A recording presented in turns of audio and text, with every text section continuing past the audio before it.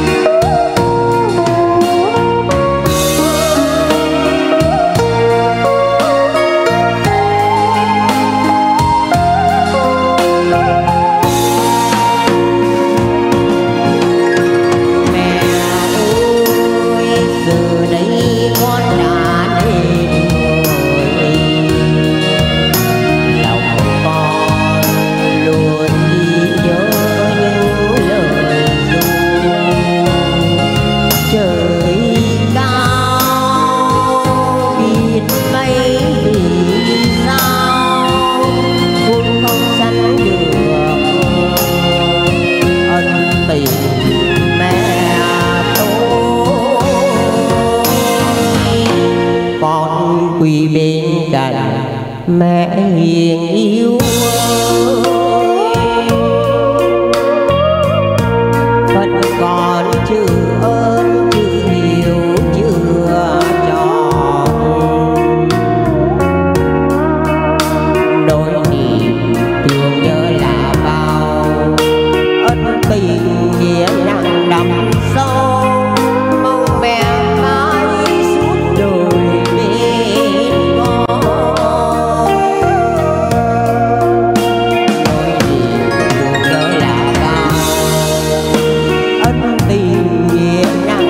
走。